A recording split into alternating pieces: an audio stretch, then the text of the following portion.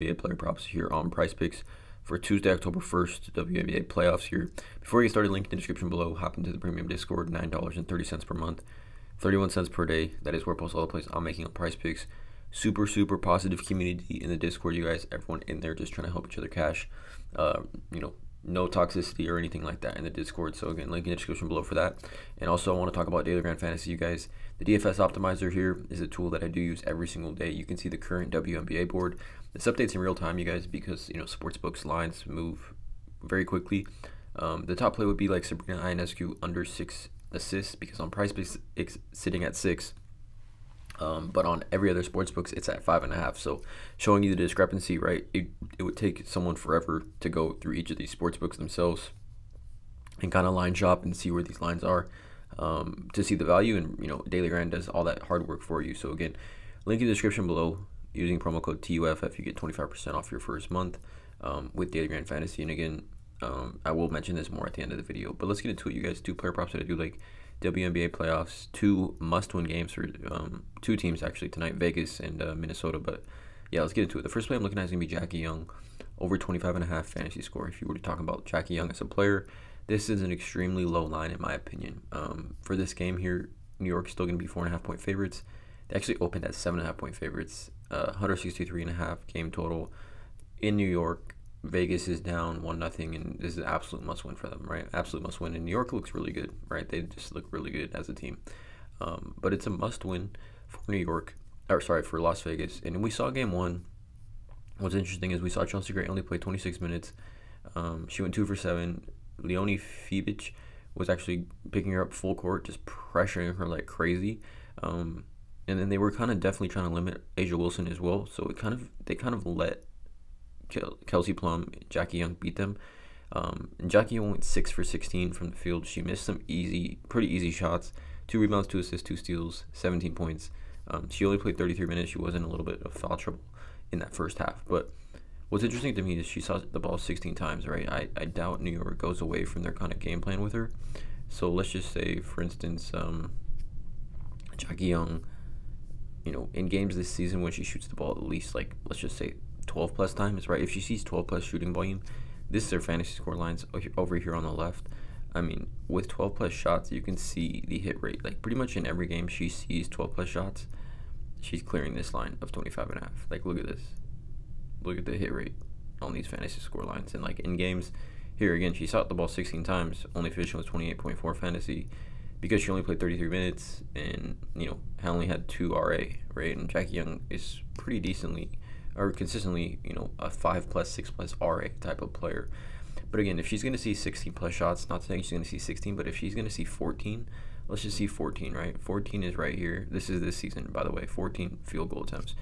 She's over this fantasy score line in every single game this season and pretty easily over it. Like she's got over this line in 1, 2, 3, 4, 5, 6, 7, 8, 9, 10, 11, 12, 13, 14 games. 14 to 14 games she's 14 plus field goal attempts.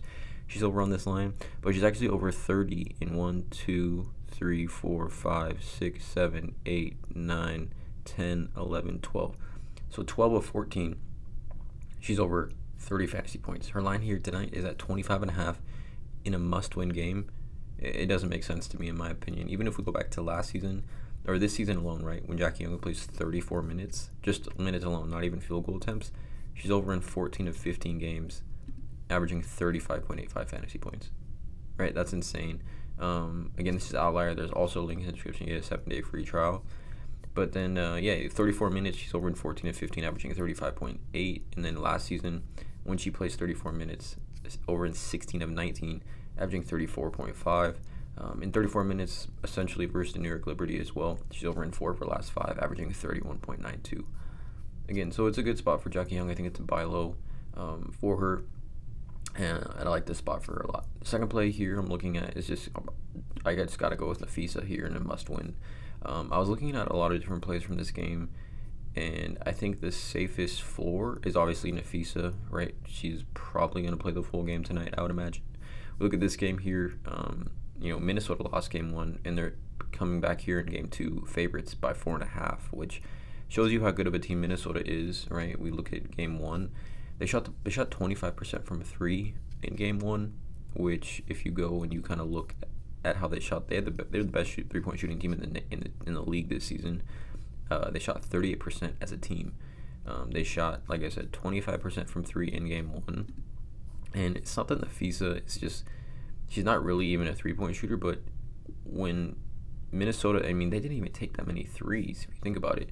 When they're not hitting their threes and when they're not spreading the floor with the three point shooting, it affects Napheesa because then Connecticut's able to double right? They're able to throw doubles at Napheesa. She finished 19, 9, 4, 2, and 1 with four turnovers, and she still finished with, uh, I think, 40.8 fantasy. So she was barely under this line here um, with four turnovers, which is a lot for Napheesa. Like, it's a lot. I think that's her most turnovers she's had in, like, the last 15 games.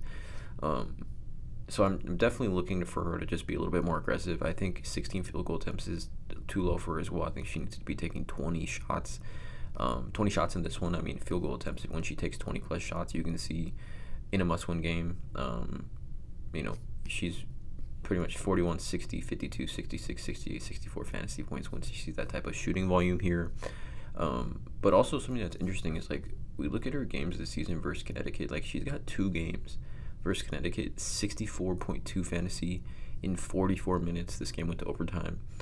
Um, and then 50.2 fantasy against Connecticut in 39 minutes, 25, 6, 2, 2, and 4 blocks. She was the defensive player of the year for a reason, right? For her to be able to rack up those steals and blocks here. Um, I just think it's it, it's the safest floor of any prop from this game um, when it comes to a floor for a fantasy score, right? Like the just the baseline of her attributing to this line. Um, still this season in 36 plus minutes at home, she's over in uh, probably the 2024. Over in six of nine, averaging 50, 53.57 fantasy points when she plays 36 plus minutes at home. Um, just versus Connecticut alone in 36 plus minutes, she is over in uh, two of three games this season 64 and 50. 40.8 is her only miss, being, you know, game one here. Um, so again, I like Minnesota to play a lot better as a team.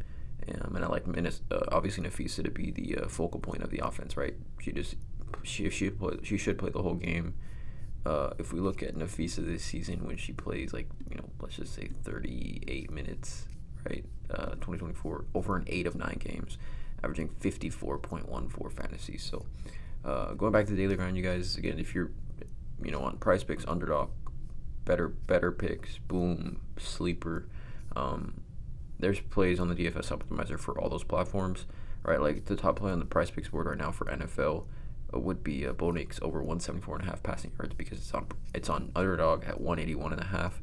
Again, a lot of books don't even have NFL lines out yet, which shows you the advantage here of daily grind. You're able to shop at the earliest lines come out on books. Link in the description below. You guys promo code TUFF. Um, link in the description below for that. But two player props, you guys. Jackie Young over 25 and a half, Napheesa over 43 and a half fantasy. Please drop a like, hit that subscribe button, and as always, let's cash.